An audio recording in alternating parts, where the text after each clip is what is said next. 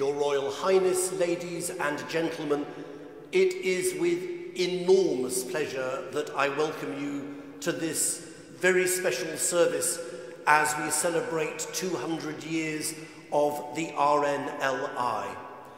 At York Minster, we are honoured to be the hosts of this act of worship commemorating the most remarkable legacy of service to neighbour and community that has benefited people around the coast of Britain for these past two centuries. I bid you a very warm welcome indeed, and I invite you now to sing our first hymn,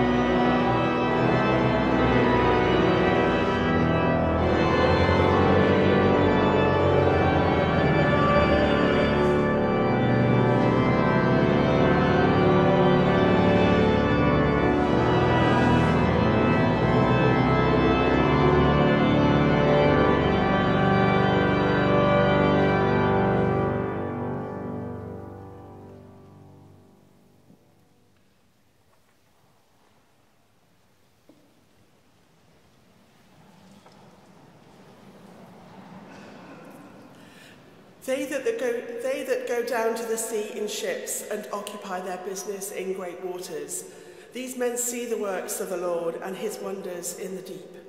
For at his word the stormy wind ariseth, which lifteth up the waves thereof. They are carried up to the heaven and down again to the deep. Their soul melteth away because of the trouble. They reel to and fro and stagger like a drunken man, and they are at their wits' end. So when they cry unto the Lord in their trouble, he delivereth them out of their distress. For he maketh the storm to cease, so that the waves thereof are still. Then are they glad, because they are at rest, and so he bringeth them unto the haven where they would be.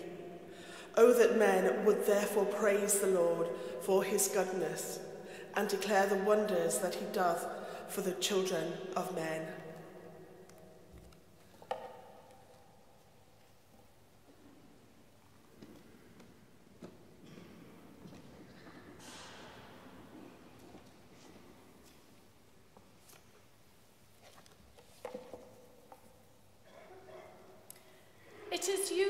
For children to follow in the footsteps of their parents.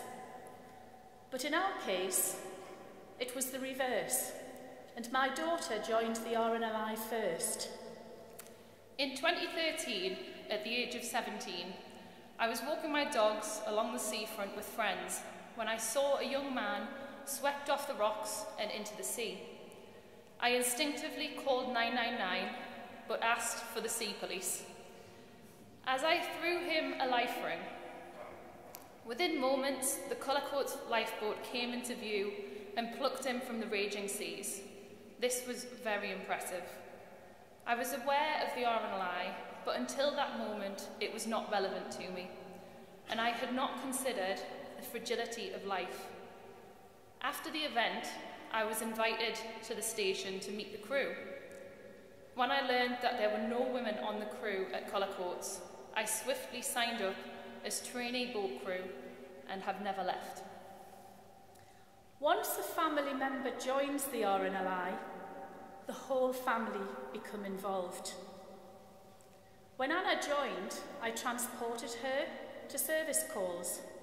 I was roped into fundraising and administrative tasks.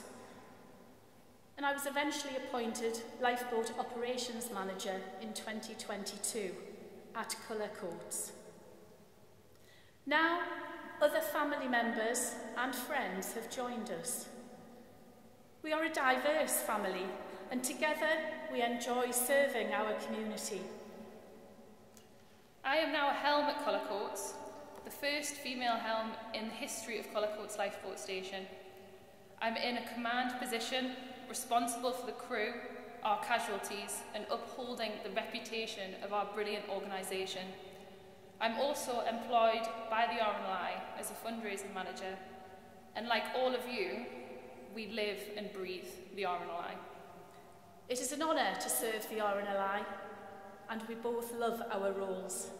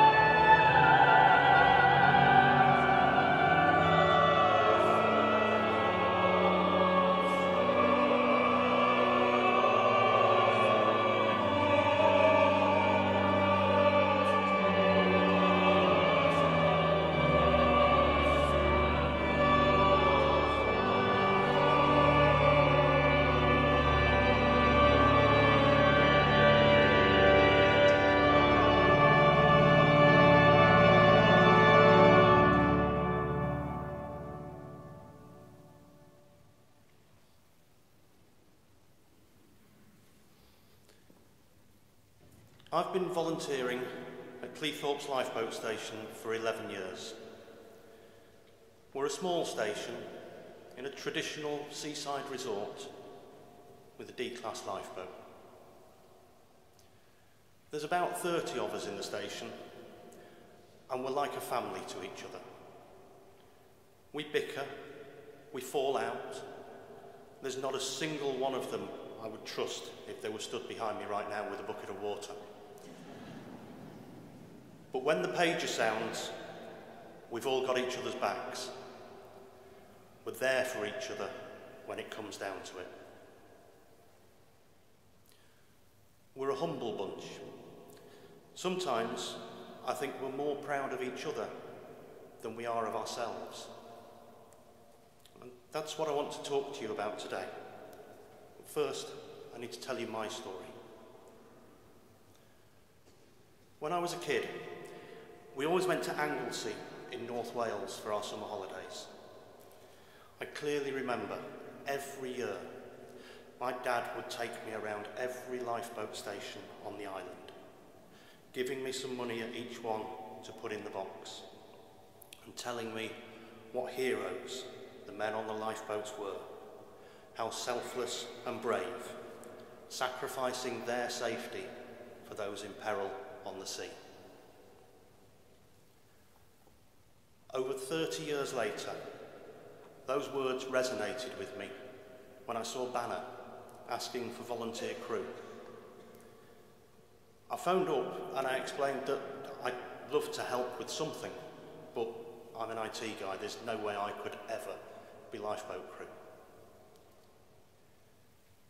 I was convinced to try though.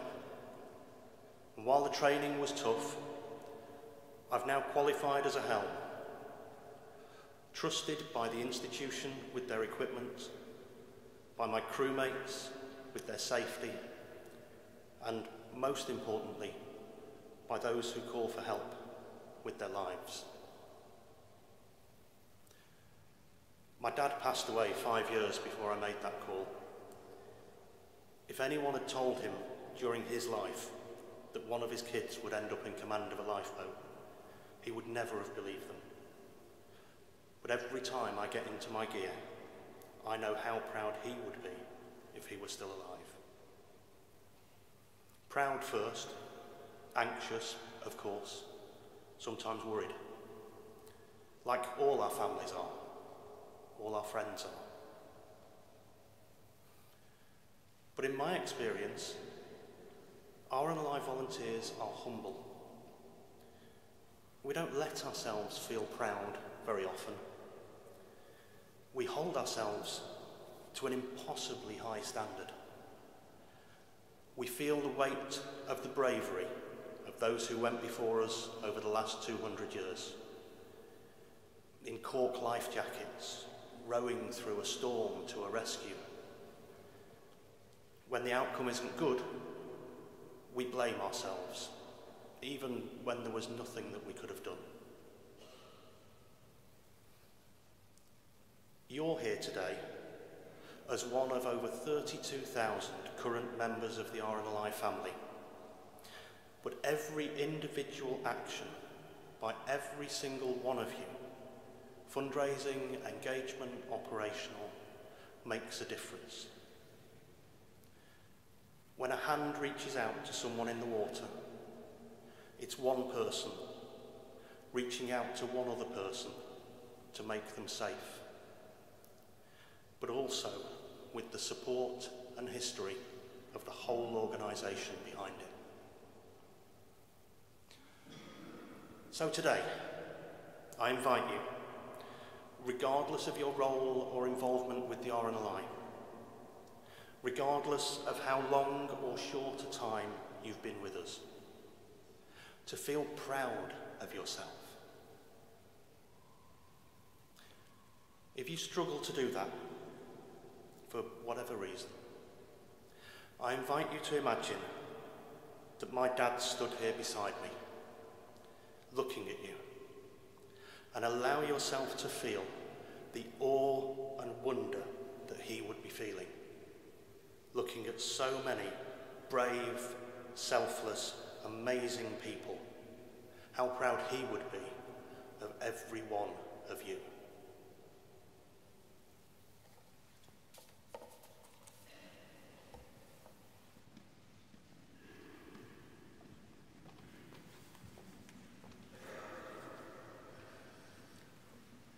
Please stand.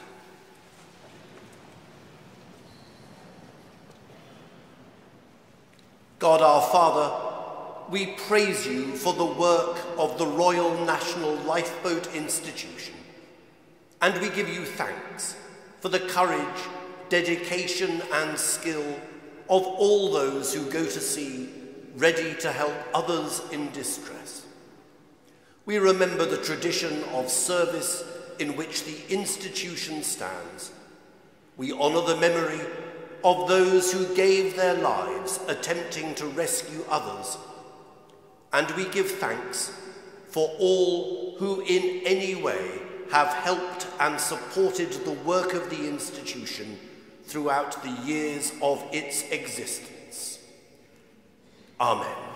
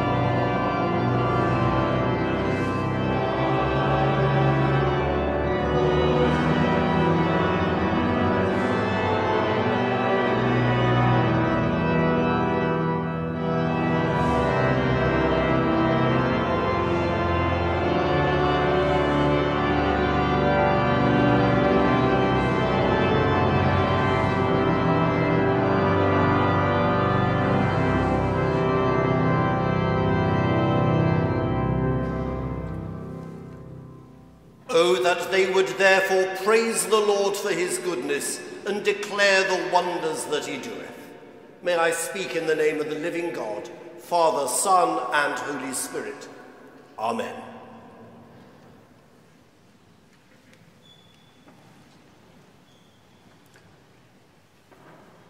You probably know the story of the very capable gardener who bought a rundown cottage in one of those picturesque villages that regularly feature on the front covers of magazines that expound the delights of rural living. The building was structurally sound, but the property had been unoccupied for some years since the previous owner had died, and it exuded an air of shabbiness matched by the overgrown and unkempt condition of the garden. The new owner put his back into the very necessary work of restoration with energy and enthusiasm, and after a few months, there had been a huge transition. With a mown lawn, existing plants trimmed back, and many new plants in place, the garden had been transformed into a place of nigh on perfection and utter beauty. One sunny summer's morning, the new owner was sitting on a well positioned bench in the garden, enjoying a cup of coffee and surveying all that had been achieved when the vicar of the parish walked past and stuck his head over the garden gate. Gracious, he said, your garden is looking wonderful now. It's so heartening to see what man and God can do when they work together. Well, came the swift reply, I don't know how much God had to do with it, Vicar. After all, when he had it to himself, it looked pretty awful. This afternoon, of course, our thoughts are focused not so much on what happens on the land, but what happens at sea. And that can be a much more intimidating business, as much of what we have already heard in this service has reminded us. The beloved hymn we have just sung, complete with its special lifeboat verse, speaks of the angry tumult, of wild confusion, and of the foaming deep. Scary images of chaos and danger, not scenes of comfort or beauty. And that famous hymn echoes words penned well over 2,000 years before its author was born, from that portion of Psalm 107 that was read to us. For the psalmist, he also knew of the dangers of the stormy wind and the waves that it could produce. What is slightly more unnerving is that the psalmist also speaks of the role of God in the dangers to be found on the seas. Now, at first, this might seem quite straightforward. Many people across the ages have looked at the vastness of nature and felt the presence of God. But this psalm goes beyond the awe and wonder approach to the natural world, for its author is happy to attribute to God direct involvement not just in calming, but in creating the storm in the first place. We were told it is at his word that the stormy wind ariseth. Let's be honest. The nature of God, as portrayed in those eight verses, is really rather fickle. This God snaps his fingers and a storm flares up, causing those at sea to reel to and fro until they are at their wits' end and only then, if asked nicely enough, the same God maketh the storm to cease. If you were just beginning to wonder whether this God sounds suspiciously like the playground bully you tried to avoid when you were at school, you are not, in my opinion, very far wrong. Which means we might have to do just a little bit of work to understand why it is that we should therefore praise the Lord for his goodness, because it's a pretty narrow definition of goodness that understands it as simply being the relief which comes when a bully chooses to stop tormenting you. And indeed, I would feel really rather nervous about attempting to honour the selfless work of the 5,600 crew volunteers and the 3,700 shore crew volunteers to honour them in a building like this if all they were really doing was trying to rescue seafarers unfortunate enough to have been picked on by a callous or angry God who was just having a bit of fun at their expense. But there is a reason that the collection of writings we refer to as the Bible is rather a weighty tome. For the Hebrew and Christian scriptures cover over a thousand years of reflection on the nature of God and of how God interacts with the world and with humanity. And as you would both hope and expect, the understanding of the nature of God and of how the world works matures substantially over those centuries. And of course, for those of us who are Christians, it comes to its fullest revelation in the story and the person of Jesus. For the hard but undeniable truth is that the fallen world in which we live is challenging and dangerous, both in terms of horrors committed by corrupt, greedy, and violent human beings, and also in terms of what we usually call natural disasters. And the real good news of the Bible is that God is not some moody and immature supernatural being who turns storms or earthquakes or droughts or famines on or off, depending on whether he got out of bed on the right side or not. The good news that we are gathered to celebrate this very afternoon is that God cares about us, cares about us so much that he allows himself to be born into this world, becoming just as vulnerable as you or I, to show the world that when disaster and death occur, which inevitably they do, they do not have the final word. And the God whose love inspired, well, inspired the building of this vast, wonderful cathedral, the God whose journey traces its steps from a humble crib in Bethlehem to a cross atop a skull shaped rock in Jerusalem, the God who encounters danger and death, without which there could be no resurrection, the God who is so intimately involved with the totality of human experience that he knows firsthand fear and pain and death, this God endures all this, as St. John puts it in a famous passage in the fourth Gospel, so that the world might be saved through him. Not some of the world, not the people who vote Tory or the people who vote Labour. Not the people who hold this passport or that passport or don't have a passport. Not the people whose skin is this colour or that colour. Quite simply, God rolls up God's sleeves. God walks the roads that we walk, and more relevantly today, God sails the seas that we sail and endures the dangers we endure because God loves. Loves without judgment or discrimination. And in the vast economy of God, even though there are storms and tempests aplenty, in the great economy of God, love wins.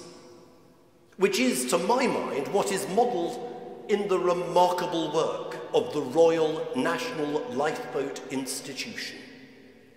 For when a lifeboat crew goes out to save frightened humans on a capsizing vessel, those volunteers don't demand to know why the people were daft enough to get into trouble in the first place.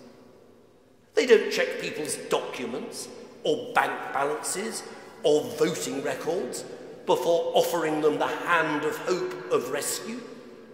They don't cross examine those who are in need to make sure that they are worth saving without judgment.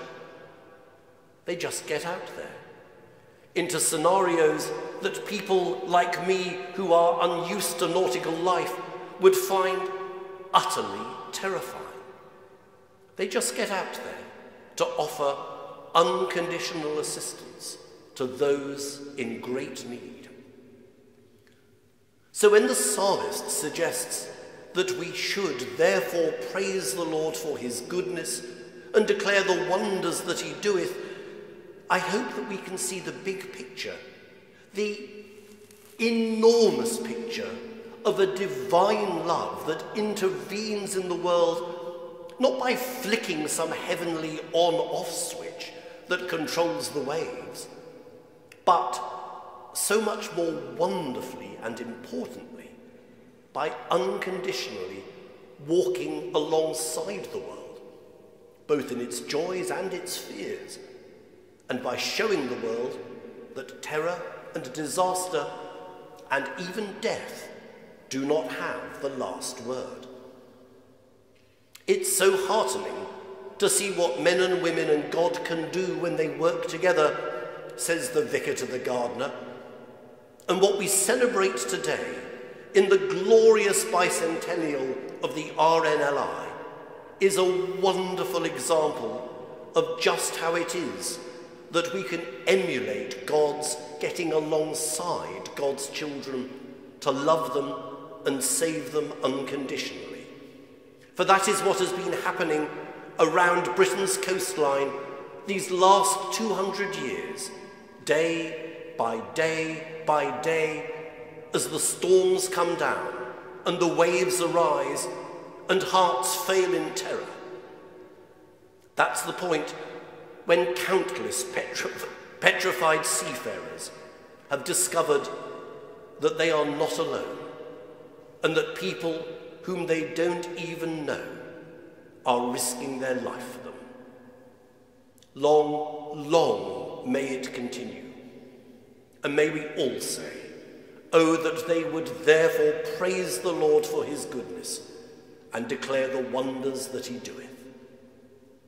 Amen.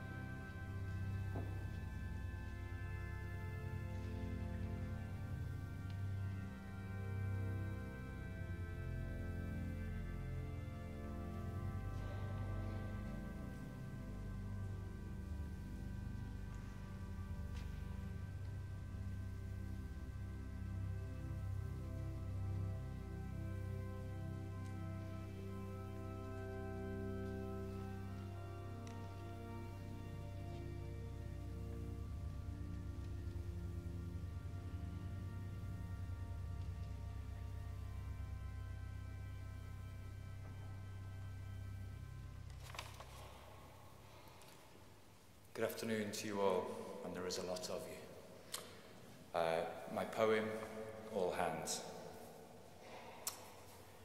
Two centuries passed, and still, as Bamburgh's cannon echoes firmly in faint hearts, they hasten into boiling seas. Hands that rode and reached out to the hopeless in storms that rage now, but in memory still reach for them today. Just as oar, sail, steam, and diesel have pushed us ever on, so too we lean upon a crew of thousands, the givers of time, who raise the seaman's chant with every freely given coin. And let us remember those who gave their very last, whose valour was their parting gift.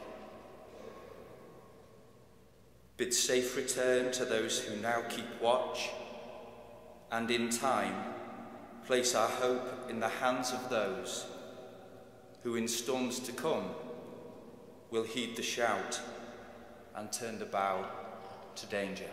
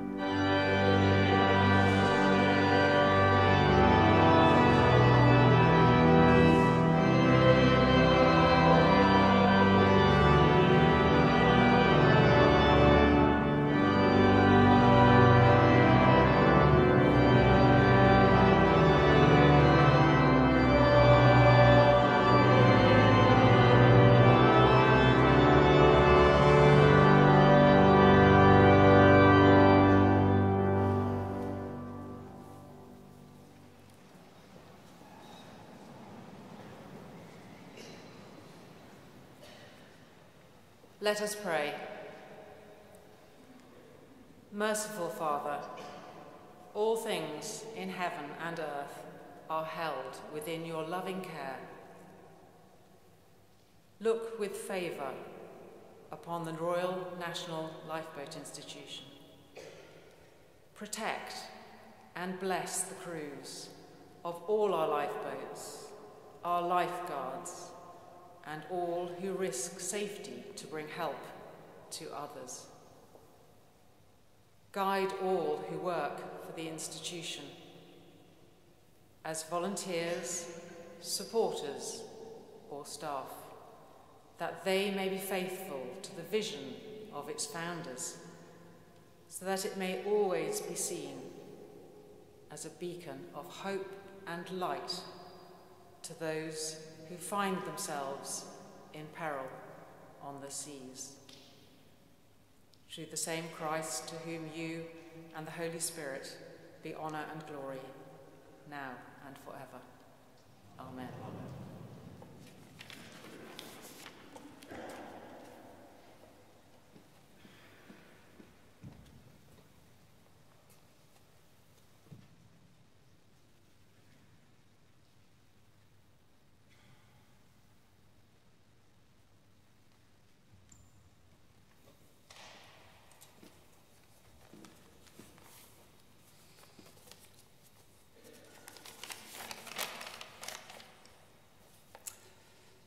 Whoever we are, wherever we may be, we are one crew, ready to save lives. We're by passion, talent, and kindness, like generations of lifesavers before us. This is our watch. We lead the way, valuing each other, trusting in each other, depending on one another, volunteering to face the storm together, and knowing that, with courage, nothing is impossible. That has always driven us to save everyone we can. It's what makes every one of us a lifesaver.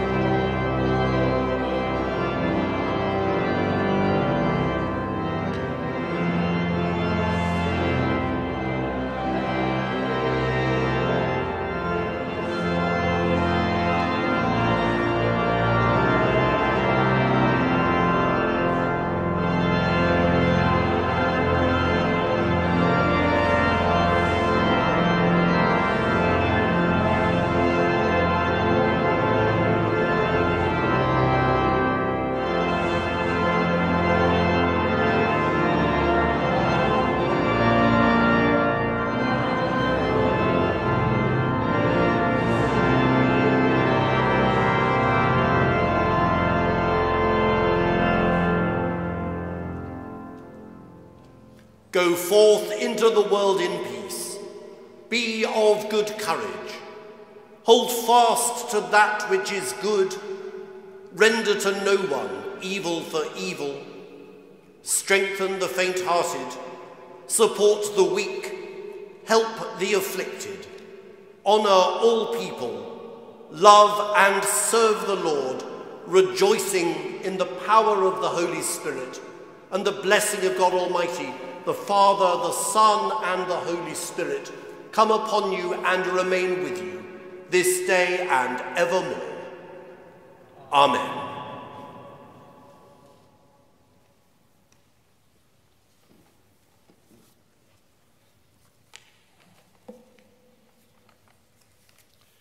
It's a great privilege to be with you here today as we give thanks for those who've given so much in the name of saving lives at sea. Their time, their courage, their support, and in some cases, their own lives.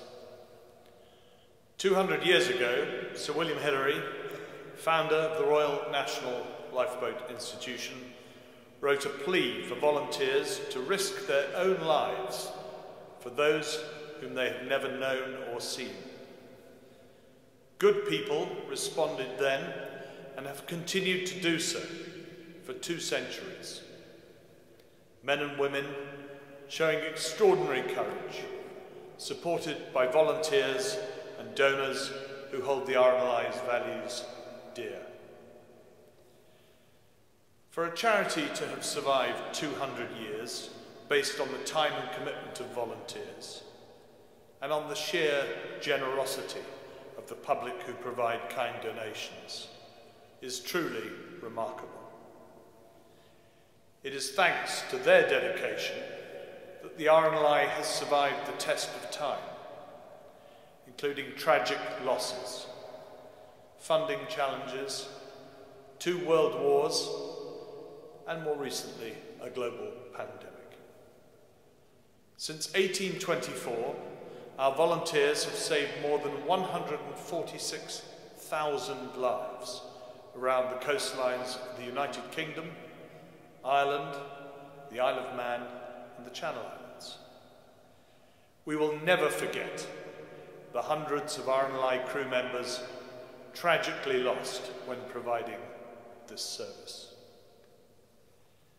I would therefore like you to join me today in commemorating all those who have selflessly given their lives to help save others, and freely given their time, energy, passion for our cause since 1824. On behalf of the whole RNLI family and the communities we serve, I extend my heartfelt gratitude to all those remarkable volunteers. Let us also celebrate the achievements of today's crew volunteers, communities, and supporters. They provide a world class life saving service based on 200 years of learning, expertise, and innovation. They are people of all ages, active all around and across our nations, from diverse backgrounds, united by the RNLI's vision to save everyone we can. This is a vision which depends on the lifesavers and supporters who will take the RNLI into its next century and beyond. So, as we give thanks for all those who have gone before, it is our sincere hope that their achievements inspire a new generation of courageous, generous, and selfless people who will continue to help to save lives at sea. Thank you.